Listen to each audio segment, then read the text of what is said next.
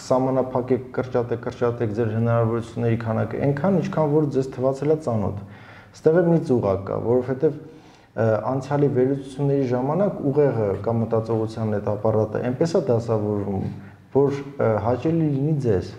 Այսինքն ստեղ օբյեկտիվության մասին ընդհանրապես խոսքը չի կարող։ Հենց այս տարվա գլխավոր խորհուրդներից մեկն է, եթե խոսում ես խոսի ճշմարիտ, ինչքանով որ կարող ես, ինչքանով որ հերիքա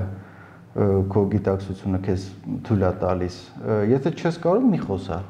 Դրանով չեք կարող հարստանալ, դրանով չեք կարող տուն գնեք, մեքենա գնեք, աստղաբանություն ուսումնասիրելով։ Եթե այդպես բաներ եք ուզում, գնացեք ուրիշ գիտելիքներ ուսումնասիրեք, ձեր վրա աշխատեք, փորձեք, չգիտեմ, ինչ անել, մի բան կստացվի։ Շագարը եւ կատուն իր